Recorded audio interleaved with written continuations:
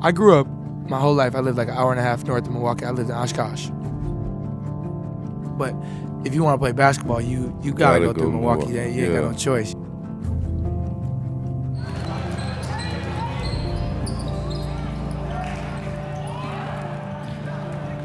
he had a I want to be part of this. He had a I am going to do this. We didn't have to ask him, Are you ready to go to practice? He was ready to go. He wanted to conquer this thing called greatness as a young kid.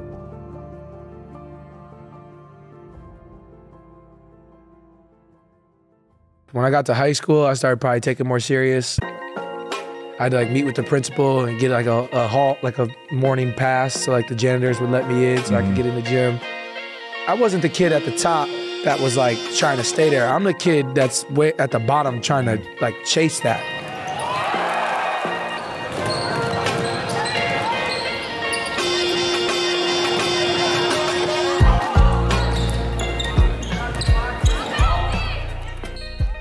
More about assists and getting his teammates involved than he did about his points. He never worried about points. I mean, they had to be up a lot in order to get the 10th and the 11th player to, to see the court. He would make sure they got up that so they could get on the court and score. You know, for me growing up, I would say what what made me different was um, at a young age, I just kind of understood, uh, you know, the importance of like team camaraderie and uh, getting everybody involved.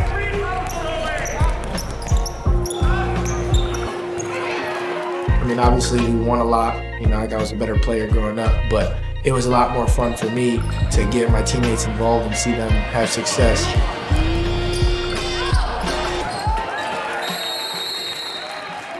You know how it is now with grassroots basketball. It's all about the circuit. So mm-hmm. Nike's obviously the biggest. There's Adidas, Under Armour, all that stuff. Mm-hmm. I didn't do none of that. Like I played with like my local team. Like I had the opportunity to. I could have played Nike. I could have played Under Armour. I could have played Adidas. But I was like, I'm just gonna play with my homies because like I had I had mid major offers. I knew I was gonna go to Northern Iowa, mm-hmm. and I was like, shit, we gonna make it crack there. Like it is what it is. We played my last AU tournament. You know, you go to Vegas, Fab 48. Yeah. No shoe circuits. It's just roll the ball out. There's Nike, Adidas, Under Armour. We all there. And we played Team Rio, uh, who had Bryan Antoine, who's a five-star point guard, and Scotty Lewis, five-star wing. And I cooked them. I, yeah, I, had- I played. I had a really good game. We lost, but like every coach in the country, it felt like was there. And so I remember the game got done, and like I, I was like, "Man, ain't nothing. But in my head, I was like, yo, this is about to go up. This is about to go up. Next thing I knew, I had like Nebraska offered me, Michigan wanted me to come on a visit, Iowa State offering me, all this stuff kind of coming around, and I was like, and I, I was sick because I couldn't go to Northern Iowa. I knew I was going there since I was like 16. Yeah. So I had to go to. I mean, I didn't have to, but you know, you got to kind of make that move.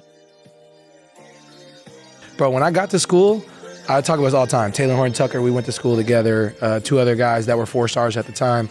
I remember we was sitting in a in one of the uh, seniors' apartments, and they was asking us like, uh, you know, what's y'all plan? How long y'all think y'all gonna be here? Because we was like the highest recruiting class. And Talen was like, a year. I was like, I'm going to NBA. Like Tyrese, what you think? so I'm probably a good four year career. you know, try to fight to get to the NBA. You know, that was Yeah. like my biggest thing because like you know, dudes from Iowa State, Monte Morris, George Niang, like they had to fight to get where they are. So his mother and I took him to Iowa State. And I pulled him on the side and I told him, you put your eyes on the best person that's in there. And that's who you challenge. And that's who you go after. Because I did not bring you here to sit on the bench. I brought you here to get on the floor. About 13 feet from the bucket on the left baseline. Knocked away, stolen by Haliburton.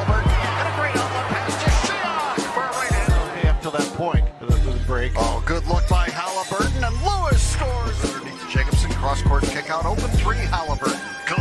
And outlets to Haliburton. Then runs the floor. Gets it back from Tyrese for a layup. 94. There's another assist for Haliburton. Finds Haliburton. Quick no look pass to Condon for a two-hand dunk. And there's the school record for assists. I would say the first like stamp I got that I was like, yeah, I'm here was uh, we played Kansas, like our first conference game or second conference game at the crib. We beat them by 20. They were top five in the country at the time. And I remember Bill Self going through the handshake line was like, "You can play anywhere in the country." Like, and he said in the post game presser, like, "That's one of the best backcourts in the country." Yeah. Uh, and I was like, "Wow," because again, coming into the year, nobody even know, knew who I was. was yeah. And so now we're only, you know, 13 games in a year, and he's already saying that. And I was like, "Yeah, I know I belong." And from there, just you know, it took off. Haliburton spinning, flips it up, and he's lost the handle for a moment. Haliburton tips it away. Tyrese Haliburton will not return to this game. Haliburton, yes! Trying to get it to Jacobson. Shot from Haliburton. Haliburton, oh my goodness! Welcome back. Sports, they're awesome. Injuries, they're not. Today, we're reminded of that as Iowa State sophomore guard Tyrese Haliburton, a potential top five pick in this summer's NBA draft, announced that he would be missing the rest of the season with a left wrist fracture. remember playing K State, I go up to block a shot and it takes my legs out and I go to catch myself again. Just human instinct, you know? And I, I knew my season was over. I didn't for sure say I was gonna leave, and uh, I remember meeting with Coach Prohm at the at our on our exit meeting, and me and my dad in there, and my mom's in there, and I'm like, Coach, I don't really know if I'm gonna leave. He said, Well, you're not coming back here. When he decided to go, um, we knew that he was ready then because, you know, we had a talk with Coach Prohm, and Coach Prohm had a talk with me and told me that he's ready, John. You know, he's I hate to lose him, but it's time for him to go. Yeah, so my emotions on draft night, um, there was a lot of them. You know, I think I just kept telling myself and telling everybody like I'm not gonna cry, like I'm just I'm excited. You know, I'm just I can't wait.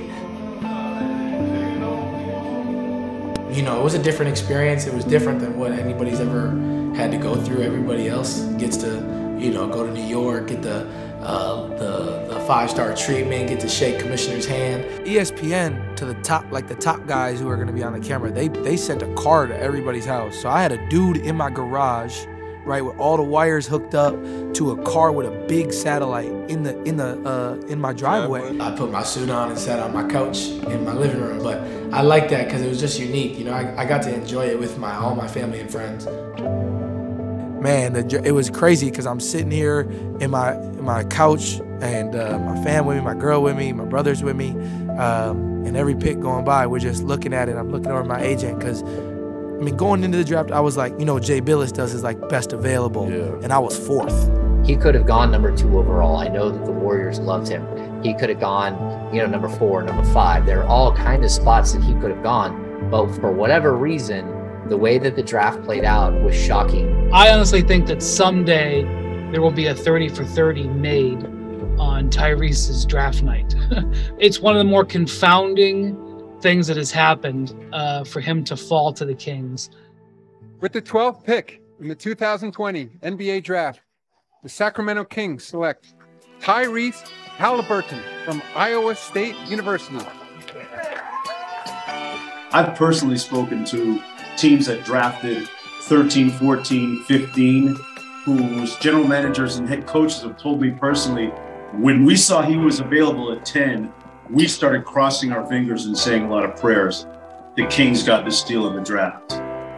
He's not a guy that's going to take years to develop. You already see the basketball IQ. The only question was, would it translate?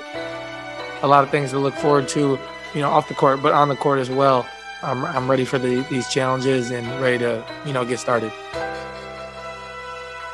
Coach Tim Grgurich, who's like the mentor of NBA basketball, one of the best assistant coaches ever, he had had a chance to see Tyrese before play, and the first thing he said was, don't mess with his shot.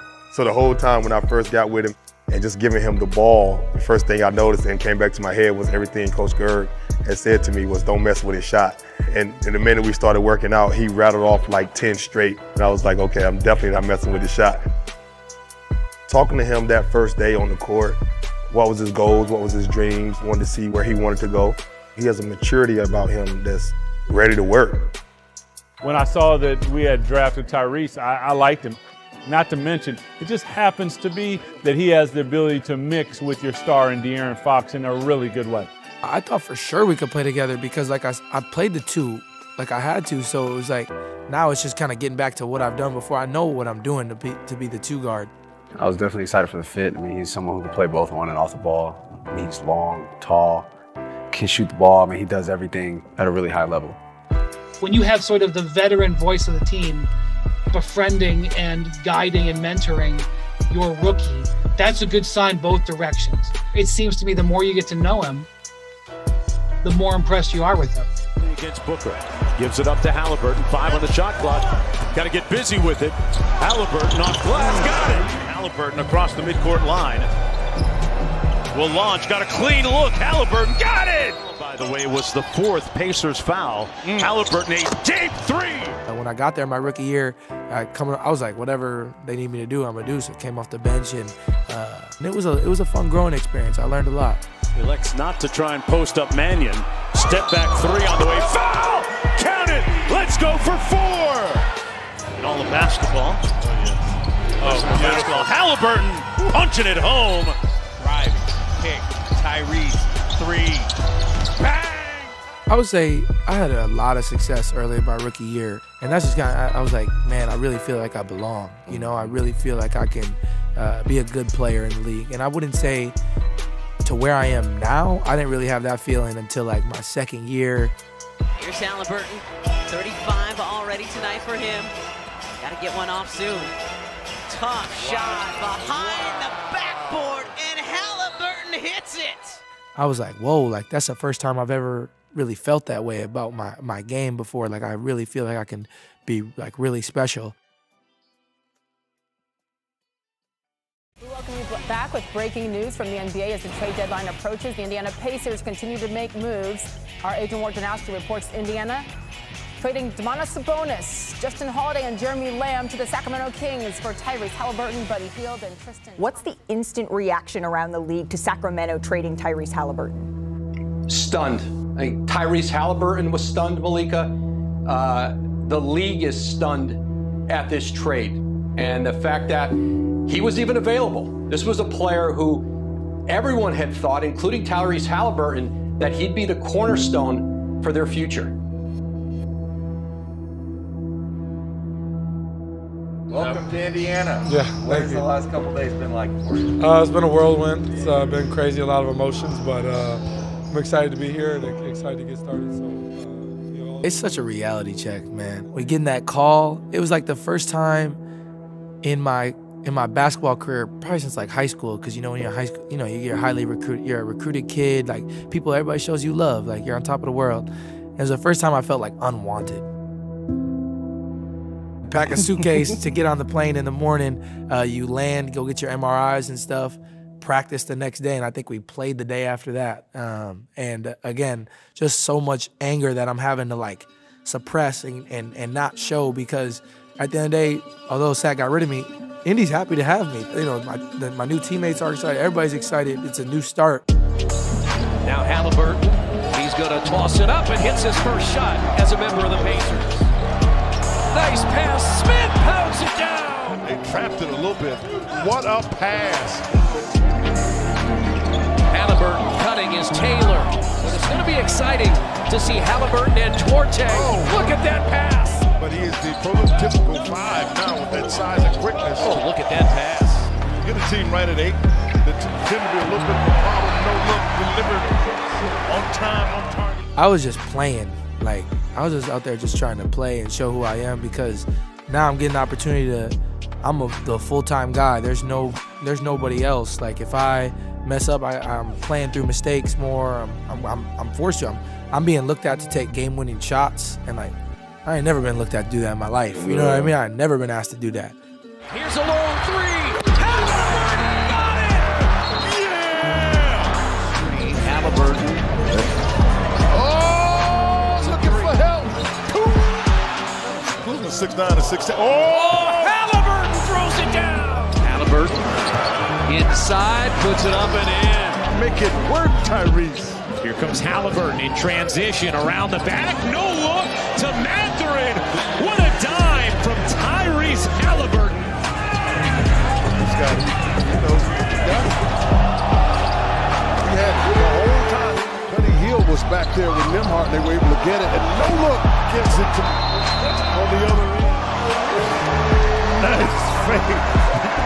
Haliburton liked that one. A hardwood hero in the heartland and a first time All Star. He runs the show for the Indiana Pacers, Tyrese Haliburton. At, at All Star, you know, that's when you get to take a step back and really get to reflect on what's going on. It's just like, phew, wow. You know what I mean? Can't even believe that this is happening.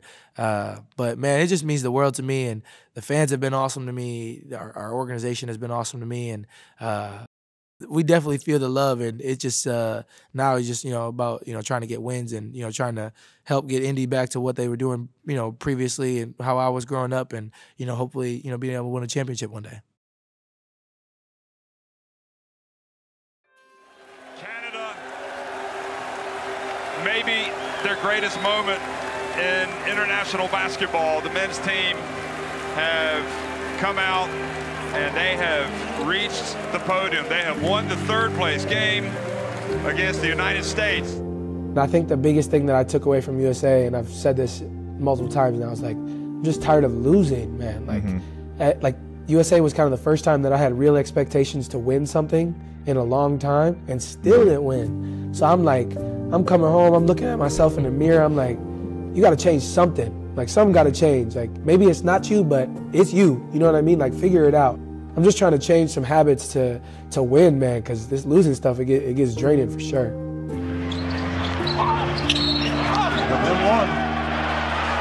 And they'll count it. Missed it. Blocked by Turner. Running. Great pushing. pass. They're 8 of 19 from three-point range. Five straight points. And Haliburton counted foul. Morgan and Gotti. Off the tap. Teardrop off the glass. Haliburton beats Walker. Count it and a foul.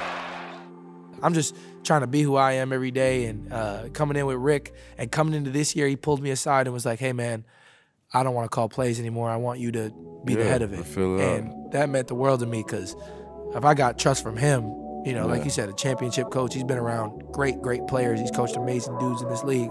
If he got trust in me, then how can I not trust myself? In five games, that's five per game. Here's a step back. Haliburton. Oh, oh, oh, oh, that's a shake of my. Seven to shoot. Haliburton. Here's a three. Tyrese. You have to go to work. Big hoop. Big hoop. Dude, that's a big hoop there. Forces a timeout. That is a huge hoop there by Haliburton. Great job by Haliburton. A little ball fake defense there. Let it go, Hallie. Got it again. Haliburton. Only shot 41%. Haliburton gets inside. Count it. The Munega foul. These fans will see a quarterfinal game in the in-season tournament here Nah, man, I'm in a good spot right now. I'm in a good place, uh, mentally, physically. Uh, I just feel good with my game right now, and it just, I think throughout the season, I just, there's moments right now where I feel like it's just me, uh, the ball, my defender, and nobody else there sometimes. Tyrese Haliburton right now averaging 26.9 points per game, 11.9 assists, 52% from the field. No player has averaged 25 points, 10 assists, and 50% shooting for an entire season. He's like Jason Kidd. Mm. He's like Steve Nash. He gets other people involved. That's why he's leading the league in assists. If this guy averages you know, 25, 26 points a game, 11 assists on 50, 40, 90 shooting splits, you're talking about something that's unprecedented. He's a superstar. I, I- there's no other way to put it. And this ascension from really fun, really good rookie to where he's at now in his fourth year is fairly astonishing. We are off and running. What a scene, what an atmosphere here in Indianapolis tonight. This is going to be fun. Haliburton lights the lamp from deep. Haliburton switching left hand into a good look. Haliburton trying to shake Holiday off balance three, Seven on the timer. Haliburton trapped off balance three, and he puts it in, and a chance at four. And a breakthrough moment for this upstart Indiana Pacers team. Haliburton pushes. Alley-oop to top. Oh, no! What a connection! Sensational move from Tyrese Haliburton. Pacers clinging to a five-point lead. Haliburton tries another three. Bang! Haliburton. I don't know what time it is.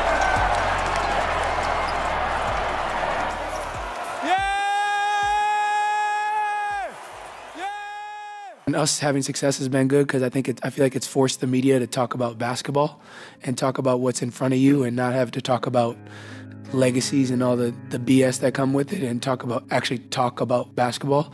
So um, you know I, I, think that's what's been good about us succeeding. And of course, there's going to be the you know people have said MVP or All NBA, All Star, whatever. Like that happens. But at the end of the day, I just want to play basketball and I want to succeed as a team.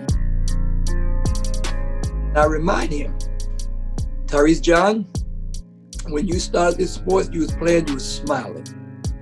You're playing now, I need to see you smile. Because when you smile, that tells me you're saying, Dad, I'm still enjoying myself. When you are not smiling, win or lose, that's telling me, Dad, basketball is beginning to become a job to me. And I don't want it to become a job to you because when it becomes a job to you, you start working at it for the wrong reason. But when you enjoy it, you start working with it for the right reason.